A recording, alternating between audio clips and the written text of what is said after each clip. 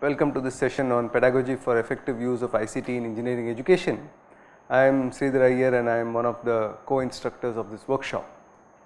So, in this session we will be looking at this question of how to use visualization for teaching learning of scientific content. Okay, to begin with, since we have been talking about learning objectives all of yesterday and part of today, uh, the key learning objectives for this session are that after this session you will be able to list different categories of visualizations and you will be able to choose appropriate visualization for your topic and your learning objective. Okay. So, these are the objectives for this session and with that let us begin with looking at a few visualizations which I am now going to do through the screen share function. Okay. So, here is a visualization of something from molecular and cell biology. Okay. So, what you need to do is simply observe what all interactions happen and later on we will discuss about what is the use of this visualization. So, there is a model for DNA replication and there is how the DNA replication happens and how the transcription happens. I am just going to click on one of them and let us say we look at what is the dispersive model and we find that there is a, a flash animation that is loading which shows a DNA strand which is the original parent molecule. And there is there is some audio along with it which I have actually currently turned off. And the original molecule is replicating in some manner generating first generation daughter molecules and then replicates one more time to generate another generation of daughter molecules and then that part of the visualization ends with some commentary on what is to be observed and then it goes on to talking about the next uh, type of model which is the semi conservative model and so on and so forth. And then there are sessions which talk about how the replication actually happens. It starts with some strands and let me speed it up a little bit and then we will see that at some point different structures are being pointed out and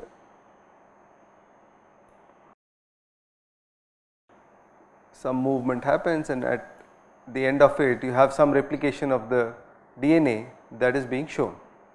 Okay, so, this is one visualization we will just stop here this one will and it says at the end that in this learning object you have learnt about proposed models for DNA replication, how the replication happens and how the transcription happens.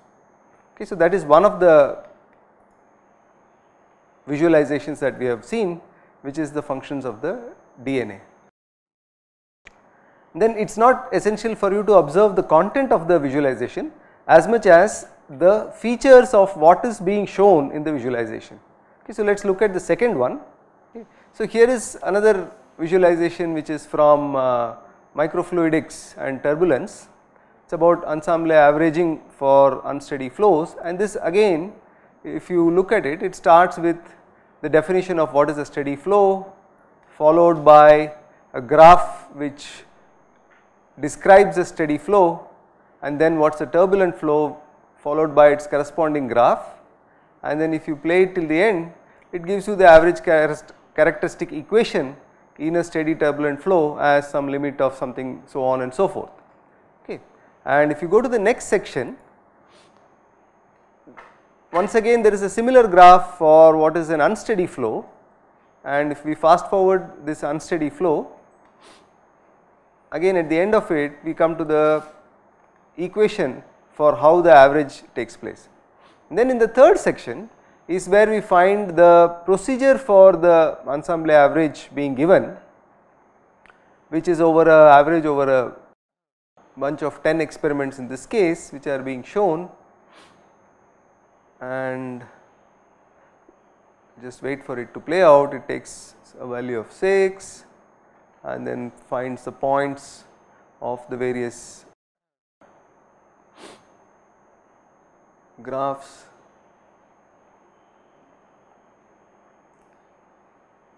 and then it gives the general formula which is the formula for finding this average.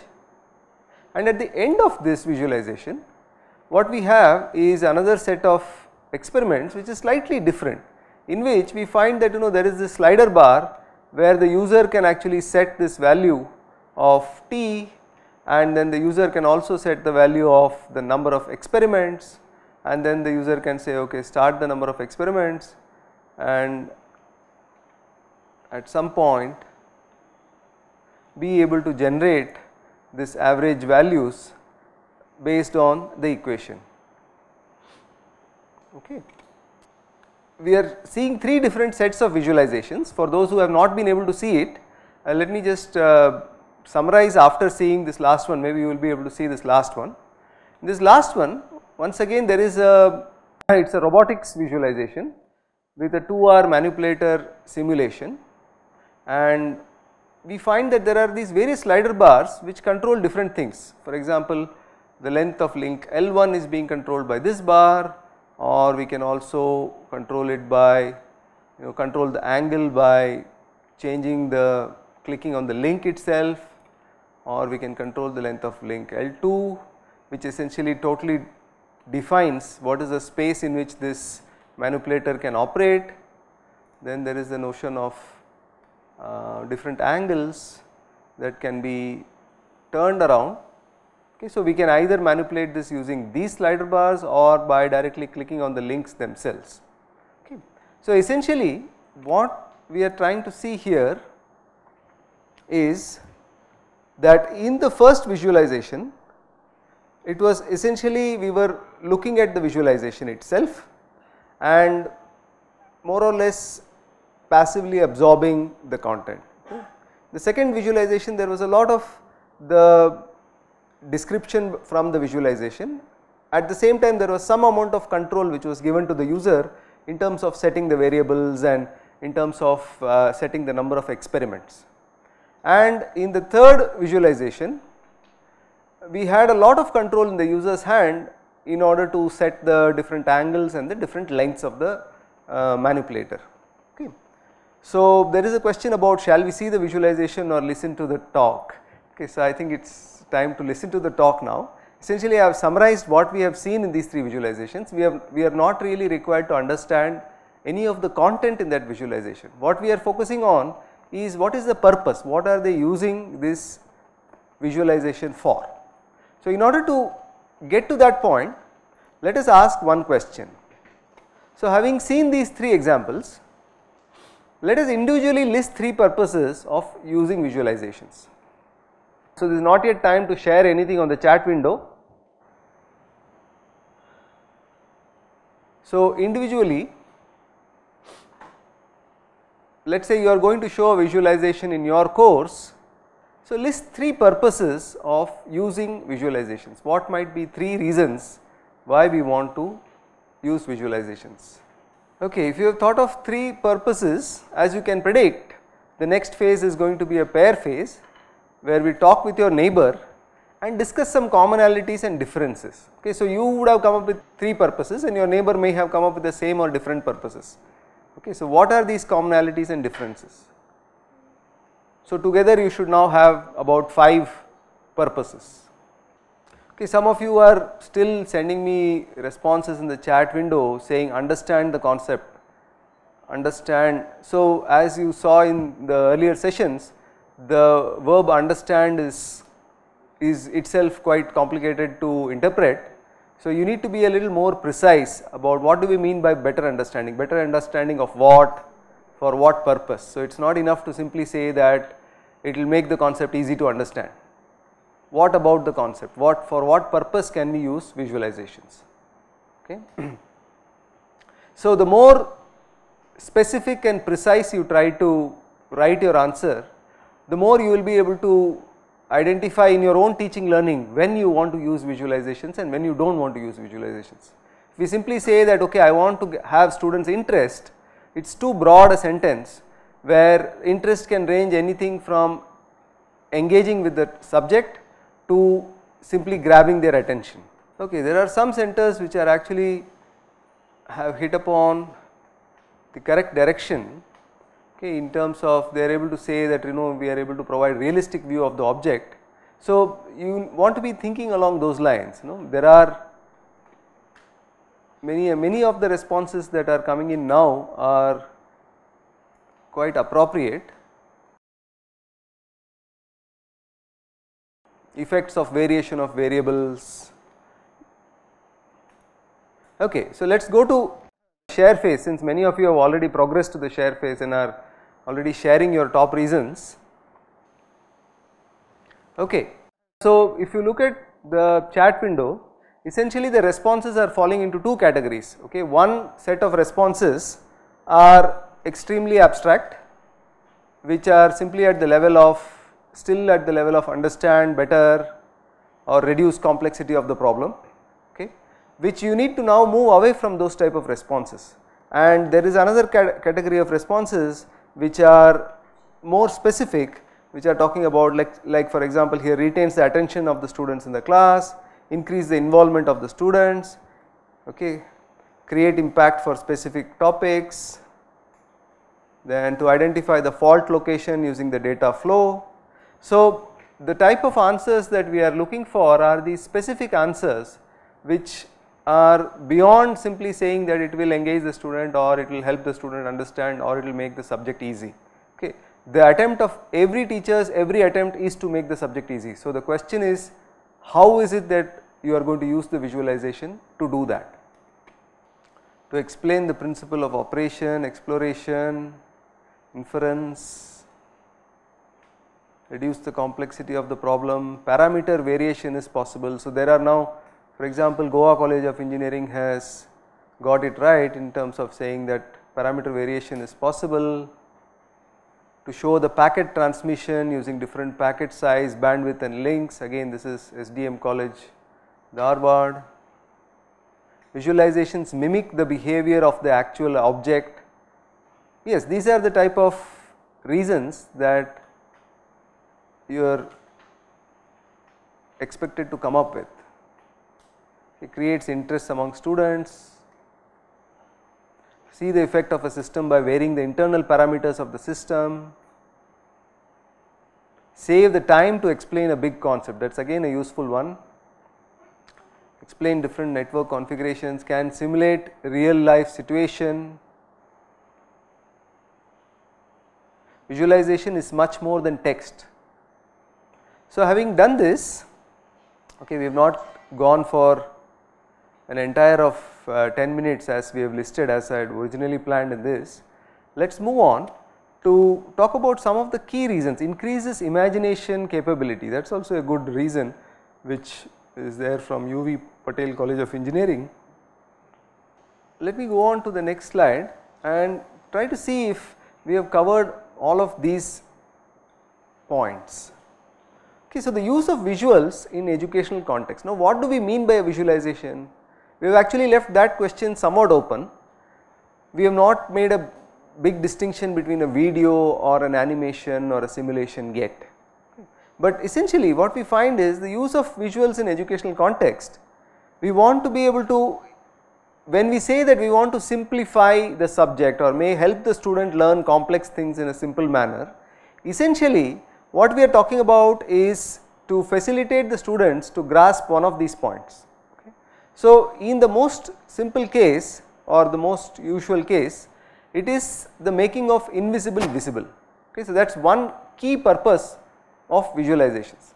For example, when we want to look at how atoms behave, in let us say magnetic property that you are studying okay or fields these are things that are not visible and they are also not easy to imagine and a visualization helps in these cases to make the invisible visible. Also for the internal structure of a machine. So, when we want to look at the internal structure of a machine once again the visualization helps to look at what is the internal structure of a machine which would otherwise be difficult to uh, to for the teacher to explain as well as for the student to imagine. So, making the invisible visible is a big reason for the use of visualizations. The other big category is when we want to talk about movement of objects or components, when we want to say okay suppose like the typical car uh, and road type of simulations in physics where you want them to be able to visualize okay what is happening as the acceleration increases or as some other activity or as some collision takes place and so on. So, movement of objects is another area. So, movement of objects over time or over space, how the location changes so as a function of time or as a function of space. These are two again uh, reasons why we use visualizations because these again are difficult for us to simply do it in our own minds.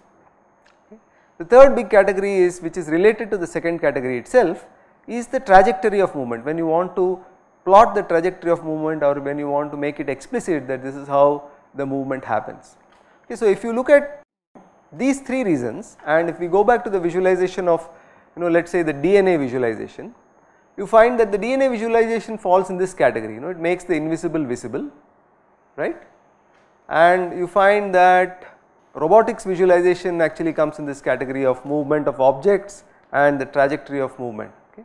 While the ensemble visualization comes in this category of making the multiple steps in a process or a procedure making it explicit because it had multiple steps and each of the steps were being shown one after another how that average was being calculated.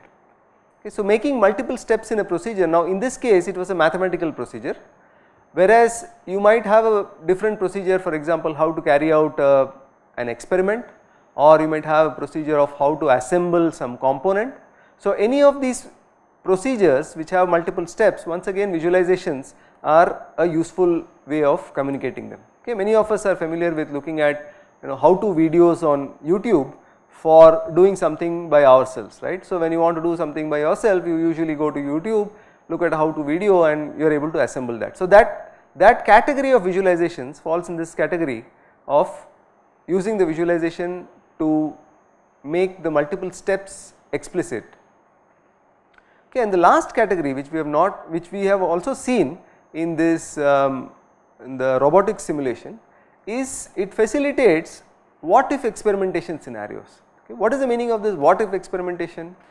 It essentially means that it facilitates the student to ask a question saying what happens if I set this value to some x which was not intended by the teacher? And then run the visualization. And the visualization simply follows the laws and computes the answer or displays the answer either way depending upon what, what type of visualization it is. And the student is able to see what happens if I were to set it in the manner that they desired. So, these are the what if experiment scenarios and these are actually one of the most powerful ways in which we can use visualizations for teaching learning of science content where you can create visualizations, ask students to set them to certain values, allow them to play with different values, observe what happens, make a prediction what might happen when they set it to a particular value. So, all of these you know science processes are enabled by the use of such visualizations which have this facility where the student can themselves set these values. Okay, so having said that what we are going to do in today's session is look at two types of visualizations okay. One is called a transformational visualization which basically shows changes in an object over time or space for example, an animation of a weather cycle or a video showing how to operate an equipment. The other type of visualization is what is called an interpretive visualization which illustrates a theory or a principle. So, here again a diagram of an equipment for example, even a static diagram does qualify as a visualization. When you have a schematic it is also a visualization or you have an animation of molecular movement that again is an interpretive visualization. So, this is just to give you some background of the theory I mean we are not expecting you to be able to remember whether you are using a transformational or interpretive visualization. What is more important is to be able to identify what purpose you want to use a visualization in your course. So, with that let us look at a couple of more motion graphics okay let us now not talk about static visualizations we will talk about the differences between these video and animation. So, let me click on one of these videos. So, here is a visualization of a reaction between iodine and zinc and essentially it shows all the components it says okay water powdered zinc iodine is there there is a dish in which the mixing is going to happen there is somebody who is wearing gloves and is taking some some of the iodine into the dish okay as you watch this visualization what you need to think about is when would you need a visualization of this type which is essentially a video of somebody doing an experiment. You can also see that some mixing is going on with different types of tools are being shown.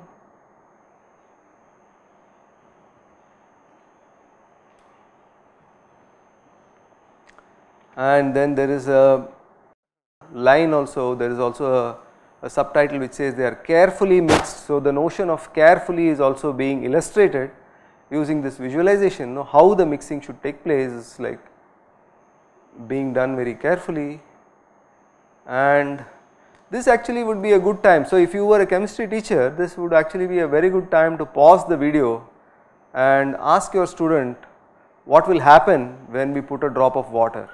So, I am going to pause the video and let you think about it for a moment what will happen when you put a drop of water? Okay, you have to go back to your chemistry 101 and remember what is going to happen. So, this is one power of the visualization. No? You could show part of it, pause it and ask the student. So, this can be done in any type of visualization, it can even be even be done in a program. You can run a program, you can pause it at some point and you can ask the students to predict what is going to happen at this point. Okay, so, I am going to continue playing with the visualization. So, when we play it puts a drop of water it is probably going to explode right or catch fire alright. So, some iodine fumes are being generated. Okay. So, once again you can use the visualization to show that know, what is the amount of how the reaction actually takes place. So, the, and then there is a subscript which says the heat generated by this is exothermic causes excess iodine to do this, purple smoke is iodine in its gaseous state and such a visualization helps students to actually get a feel for what the experiment is about even though they have not done the experiment themselves. Alright, so that is one type of visualization. What we just saw was a video. So now what we are doing right now is trying to make a distinction between videos and animations. Okay. So let us look at an animation next. Okay, so this is an animation of a distillation column. Again you first see the distillation column itself and then it the image kind of fades away to show you what is there inside. There are labels which show what are the various items. There are arrows which show the direction of air and the direction of whatever product that emerges. Then there is the possibility of zooming in into the visualization to look at the different levels more carefully and then it starts off with looking at the topmost level where there is some feed is happening which are filled into one of the levels of the distillation column and then the animation actually shows you how some overflow happens into the next level. And how the process of this distillation takes place from one level to the other.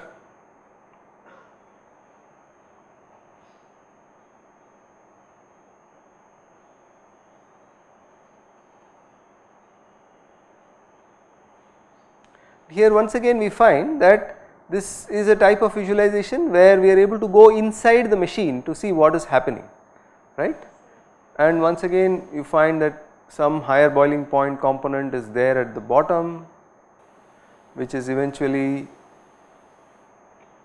taken out.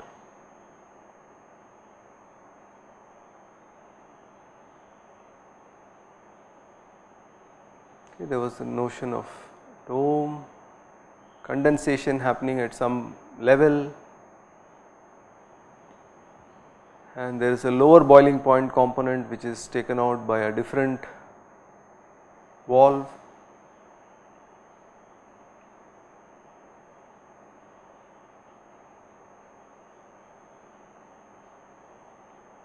And there are arrows which are indicating you know what is happening at the various stages. There is a zoom in view of the process at each of the stages.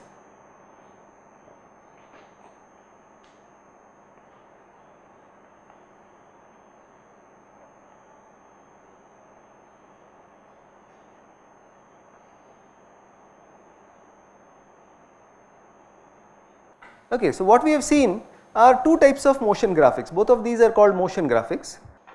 In one case we saw a video of an experiment being performed, okay, it had its advantages of why we should take a video and in another case we saw an animation of the internals of a particular machine. So, what we want to do now is to think about when is which of these two types appropriate. So, let us say that we have two groups of people in each center this is also a good activity to perform uh, immediately after lunch. Okay, so, while people are kind of falling asleep this is a good time to talk to your uh, colleagues and look at okay group A is the video group. So, essentially they have to be pro video they have to say okay these are the advantages of video and group B is the animation group and they have to kind of come up with reasons for why the animation is a good idea. Okay, so form two groups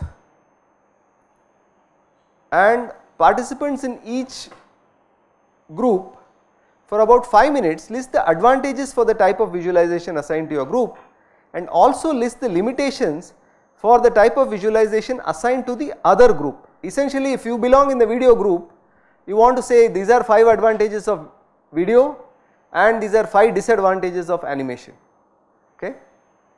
And if you belong in the animation group you have to do 5 advantages of animation and 5 disadvantages of video. So you do not need to do this as an individual activity you can do it as a group activity. So I am not asking for responses of the type video is a lot better than animation. There is a specific activity that has been assigned okay the activity is if you are in the group so, make two groups in your remote center, one is the video group and the other is the animation group. Okay. So, the video group has to list advantages for video and disadvantages of animation. The animation group has to list the advantages of animation and the disadvantages of video. Okay. So, please go ahead with this debate in your own centers. So clearly there are two camps of people because I have got responses which says video is better than animation and I have got the opposite response which says animation is better than video and this is precisely the point where a debate is a useful teaching learning tool. So whenever you find that there are such responses which are possible in your class always you should think of having a debate between the two. The idea of the debate being that the advantages and disadvantages become more clear in everybody's minds at that point. So, I still find that there are some centers which are sending responses of the type animation is better, video is better. So, I encourage you to write the reason why you think it is better because as you would have seen from the other responses there are reasons when a video is better and there are reasons when an animation is better. So, that the whole purpose of this uh, debate is to become clear about those reasons. So now most of the centers are along the right track because many of them are saying that concept can be explained through animation, video is gives the real time feel. Okay, video also helps to look at the real view. Okay, limitation of an animation is economic viability somebody is saying. Animation is time consuming and requires expertise to create so, these are all good reasons which are now coming out when we start thinking a little beyond which is better in, in the totally abstract sense. Okay, video can run on any platform, animation takes less time to explain things that itself is a is an item which we can debate on. Animations can be interactive. You want to say things, some responses? when to use a video, when to use an animation. Working principle of motor can be shown by video. Okay, so now I am getting a lot of good responses from pretty much almost all the centers and they are kind of along similar lines.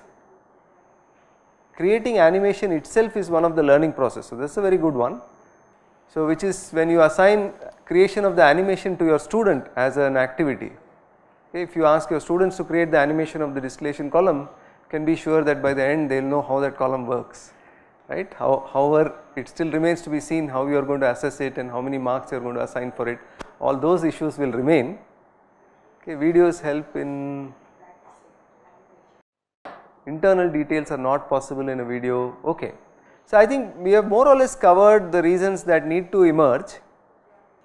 So, we have already done this step of communicating the top advantages and limitation via the AView chat and I have already been reading out some of them. So, largely I think it is more or less the summary is pretty much identical to what we have here as a summary. Most of the responses does fall into this category of saying that the video captures realistic visuals in this and it also helps you to see how to carry out the procedure while the video cannot capture magnification, position, internal details and so on. The animation on the other hand is useful to show visuals which are not possible to be captured by cameras such as how the internal process of something takes place.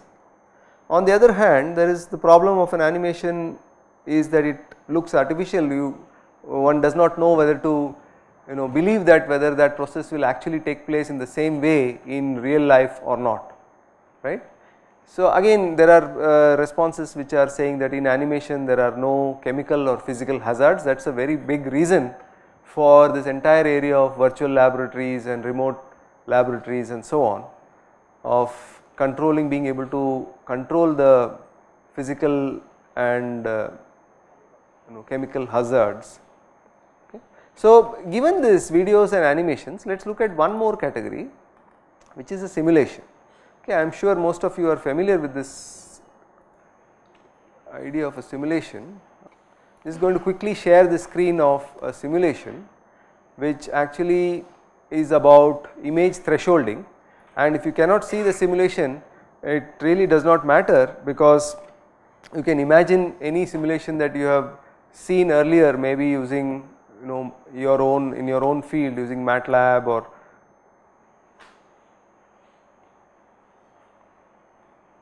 Okay, so in this particular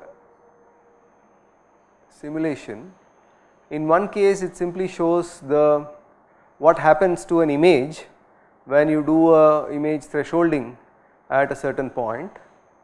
And in the other case I am just looking for huh, and in the other case it looks at suppose I want to do some medium thresholding how the thresholding image looks. If I want to do a low thresholding how the image looks or if I want to do high thresholding how the image looks.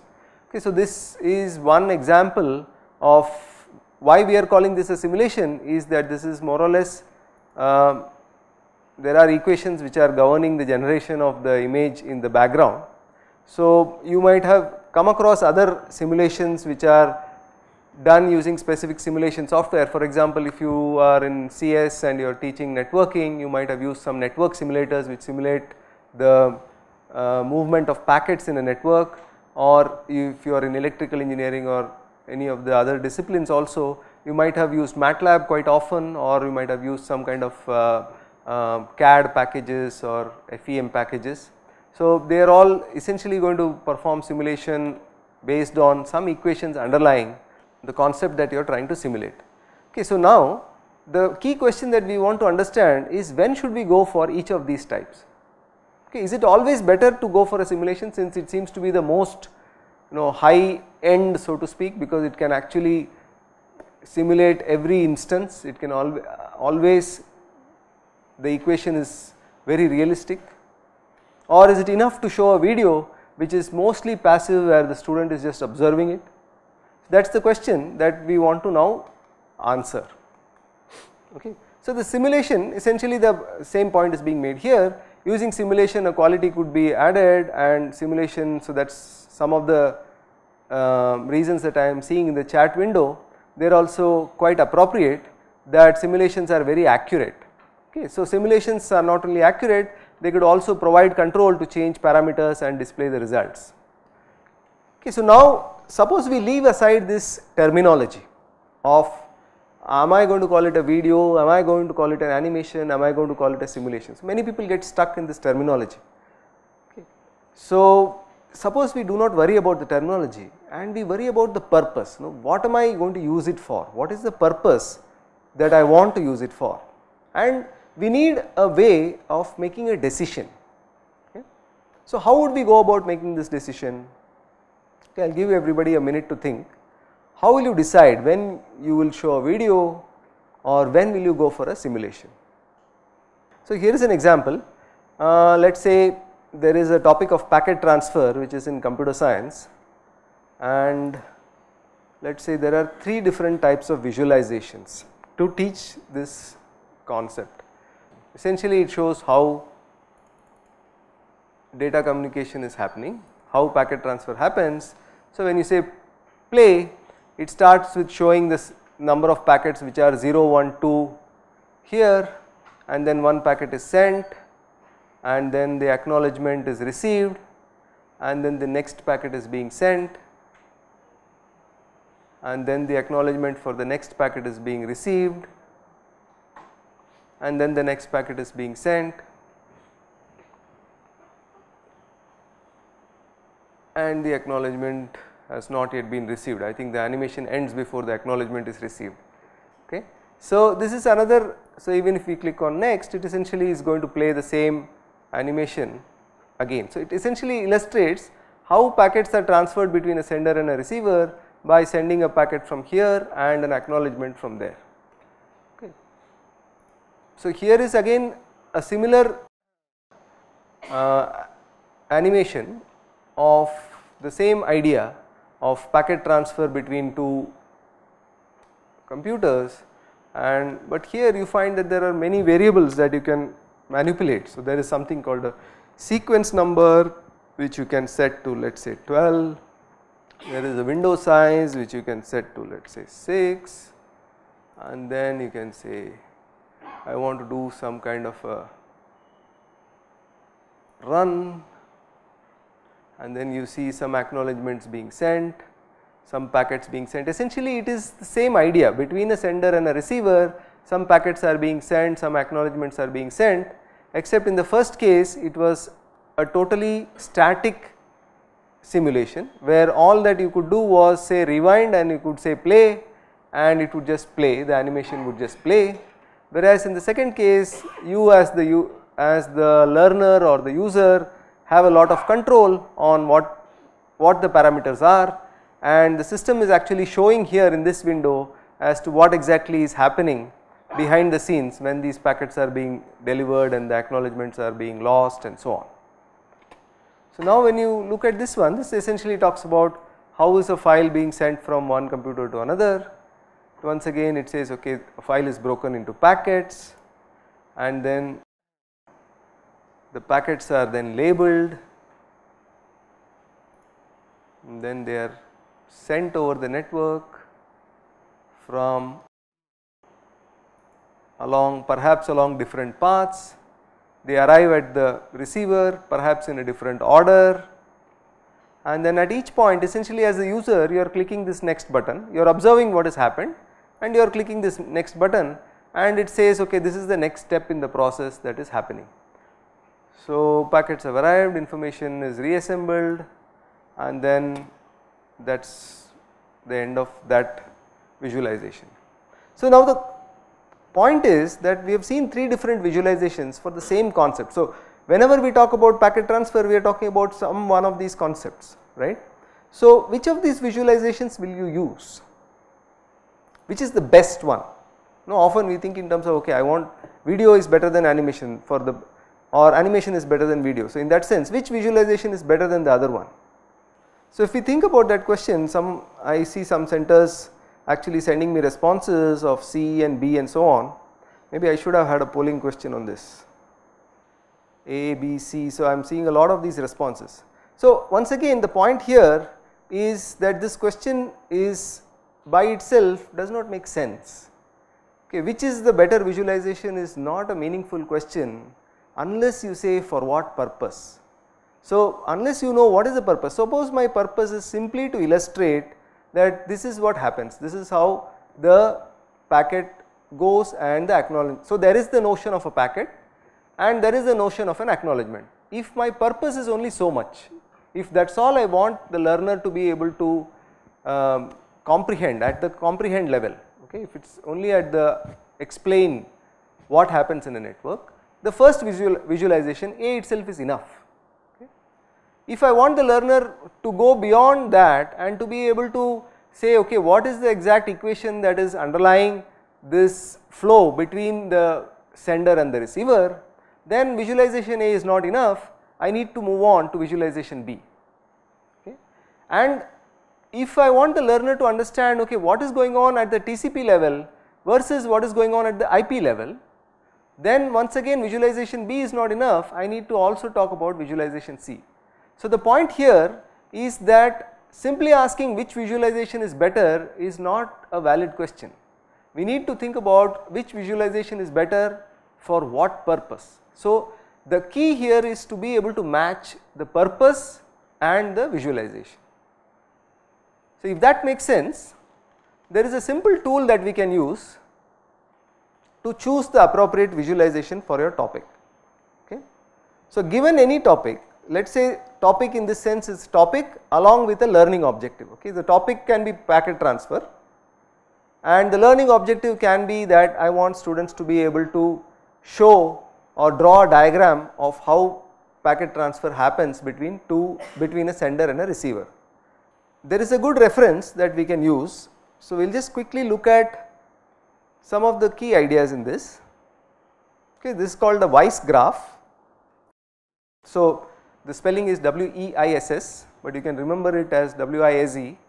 So, it is a Weiss graph it will help you to choose wisely about which visualization to use. Okay. So, it it is a very simple way of deciding. So, in the beginning it says okay let me look at is there trajectory and movement inherent in the topic. So, if there is no movement or there is no trajectory involved in the topic it turns out that you may not need any animation, you may not need any visualization at all. So, the first question you want to ask is, is there movement or is there anything that is going to change as a function of place or as a function of time? So, if there is no change then perhaps you do not need a visualization. Even in this case if you think that maybe I want to do some cosmetics or I want to simply grab the attention of the students by showing some video, it might be okay to use them sparingly. Okay. On the other hand, if we take the yes part, so this is the first question that you are asking, is there anything that is going to change? Okay, so, whenever you want to depict some change, visualization is a good idea. Okay, then you ask the question, okay, what function is that animation serving? Okay, is it presentation or clarification? So, in that case you find that animation may be useful, but it depends upon the domain. In some domains it may be useful like for example the distillation column even though you might be simply operating at the understand level okay you might simply be at the lower cognitive levels it is still a useful thing because you are looking at the internal structure of equipment and then you move on to asking this question that is animation inherently tied to your subject. So, if the answer is no then you do not need to go further now if you say okay look animation is required and look at these three categories in order to explain a procedure I am going to use an animation to explain a procedure or I am going to use it to explain a concept or I am going to use it to illustrate some fact principles or rules. Okay, so these are the three main categories in which we want to think when we talk about okay I have a purpose for which for my topic let us say I want to illustrate the rule of some equation. So, you need to decide whether this falls in the category of illustrating a procedure or whether it falls in the category of a concept or whether the equation is simply a rule. Okay. So, the same equation depending upon what purpose that you want to use may fall in either one of these three categories. So, it does not mean that always equations are rules. So, once you decide that I want my students to be able to follow a procedure and the equipment or the context is not readily available. Okay, so this was the key idea why we saw most of the animations in this session because the equipment or the context is not readily available. Okay, it is not easy to always show this experiment of you know, iodine and zinc live in every class. So, you capture a video of that. It is not easy to look into the internals of a distillation column. So, you create an animation for that. Okay. So, in this case animation might be useful in explaining the steps of the procedure. Okay. If you come to concepts once again we have to ask the question is there any impact because of simultaneous influences or changes over time or is there something which is not visible to the eye. So, in any of these cases if your answer is yes then once again you will find that an animation is useful to communicate that concept. Okay, if you find that okay it is a concept but there is no change over time or there is no microscopic activity that you want to look at then perhaps again there is no need for a visualization. Okay, so that is the basic idea of how we go about taking this decision of when to use a visualization versus when we do not want to use the visualization. So, let me just recap here. The first question that you want to ask is, is there any inherent movement in my topic? Okay. If there is no inherent movement then perhaps your answer is no. Okay. Movement of anything, it need not be movement of the entire object, but it can simply be movement of some internal of the object or movement of even at the molecular level in the object which is important. Then having asked that question, you ask whether is it the procedure that I want the student to learn or is it the concept that I want the student to learn. Okay, and having decided which of these is more appropriate for that particular learning objective, you can go ahead and decide the type of visualization that you need.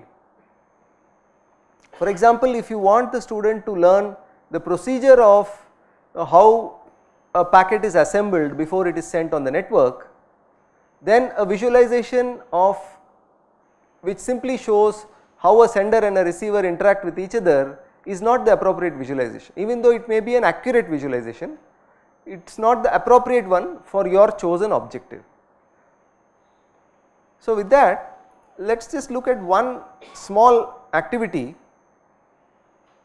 So you wrote some learning objectives earlier and for some 3 of those learning objectives list a purpose for which you can use a visualization. So, this is the last slide and if you need I will just go back to the slide of the Weiss graph itself. But essentially the Weiss graph even though you may not want to follow it exactly you can think of it in terms of a flow chart which is helping you to decide you know, is there any movement and am I illustrating a procedure or am I illustrating a concept. You ask those questions you will more or less be able to arrive at the Weiss graph on your own. So, yeah also note that this is an extension of your morning's lab because there we talked about one visualization and one learning objective right without thinking about what is the purpose. So, and the type of the visualization right without thinking about what is the purpose or the type of the visualization. So, once again I think this type of the visualization is not so critical I do not know why I wrote type of visualization here Oh, it turns out that this is also an assignment which is already uploaded. So, what I will do is I will pause at the previous slide then and if anybody wants to you know send a response over the chat or ask a question okay I will take 2 3 questions. So, this is Narayana Gurukulam College. Sir, I had a question uh, in the previous uh, session, sir. Okay. In Bloom's taxonomy, digital Bloom's taxonomy. Yes. In that, uh, um, there was a, a, a, a level for that Bloom's taxonomy that is create. Yes. Create. Yes, go ahead. What's and, the question? Uh, in, uh, he has, uh, the teacher has explained that creation is uh, some sort of creation, creating the portfolios and creating videos something something and I, I got confused with the create that we have already discussed in the uh, previous uh, uh, the day one class that is the Bloom's taxonomy. That is something about uh, changing the figures or creating new ideas or explaining things for a uh, new. Uh, that was the that was what explained in the first day, and uh, today it was something different. So what is the difference between those? Sir? I, I want to know that. Yeah, okay. So, create, strictly speaking create means create something new. You are right in understanding that in the first, uh, what you heard in the first day, create was described as something uh, which was, uh, which something new that has to be created. So, in digital blooms what we find, what you will see is that the levels are also converted into learning activities. So, if you want students to create something, so now creating of a video, let us take that as an example would you call that as a create activity or would you call that as an apply activity? These questions are also sometimes when we go to the digital blooms taxonomy, it can be that what you might think as an apply level activity, if we give the correct set of activities, it can also become a create activity. Can you state any software to create technical animations from tools? So, software for creating animations, so there are, it depends once again on the purpose. So, if your purpose is to show you have flash, you know you could write Java programs or you could also have specific software if you want to create 3D animations. So, we have Blender, you have other such uh, tools that are available. So, a simple Google will actually lead you to a set of such tools for creating animations. So, are there free tools? Yes, many of these tools are free. How are they to be used? Now, that is something that you will have to look at the how to of those tools. So, I mean there are separate workshops which are tool based workshops which will just teach you how to use Python. So, there is a site called spoken tutorials where you will find a lot of tutorials about use of these tools. So, even if you google spoken tutorials this is again a project which is being run at IIT Bombay you will find a lot of these uh, tools or tutorials for use of software tools. So, at this point we will take a break for tea